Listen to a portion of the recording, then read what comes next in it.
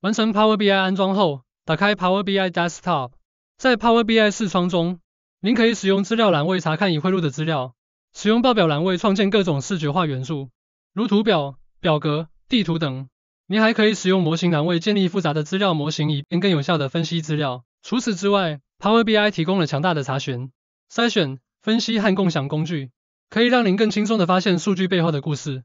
我们接下来呢，就要在桌面上找到 Power BI Desktop 的捷径。好，那 Power BI 它的捷呃捷径。它的图示很好记，它就是什么一个就是直条图，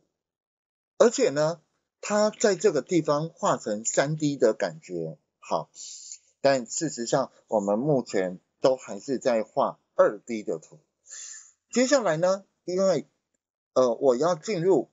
Power BI Desktop，所以就快速点两下桌面上 Power BI Desktop 的图示。好，那当我们今天进入这个 Power BI，可能您也会看到我这一个画面，这个画面叫做起始画面。在起始画面，当然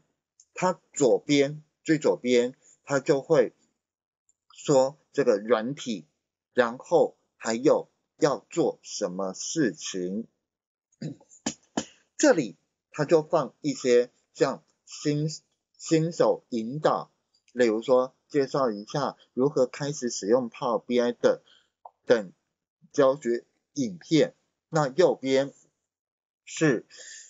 微软公司，它会成立一些像呃大数据分析的一些论坛，然后它的新功能。教学影片，所以这一个画面，它其实就是一个起始画面。我们呢就可以直接先把这个起始画面关掉。所以第一个动作，请点选这个起始画面关闭。好，关闭的按钮设计一定都在右上角，所以请点选右上角的叉叉。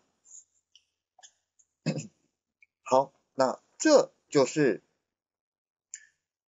微软公司发行的 Power BI 大数据分析的一套软体，它的视窗元件包含功能标签，整个的画图区，还有最左边，最左边它有一个就是画图区跟资料，资料就很，等一下就会看到很像 Excel 的一个切换，那这个是关联，目前现在都还没有设关联，所以它有这三种不同检视模式的切换。那一般我们都是在这个画图的报告模式。接下来在这边它有筛选。筛选到时候是可以打开的，可以借由这个往左的三角形图示切换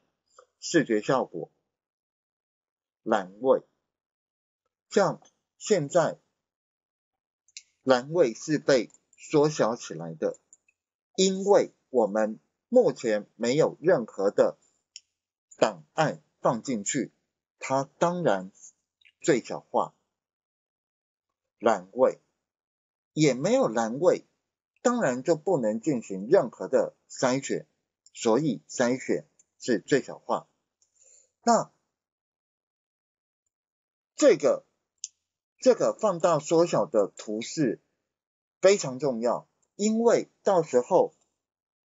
我们展示我们的报告，我们当然可能会透过把这个地方。就是呃呃这边必须这这边这边的操作必须要点它，还有就是我们会我们会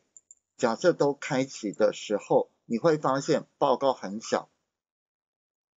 所以我们会把筛选隐藏起来，然后栏位隐藏起来，用这种方式来去呈现报告画面给别人观看。好，这个是展示。那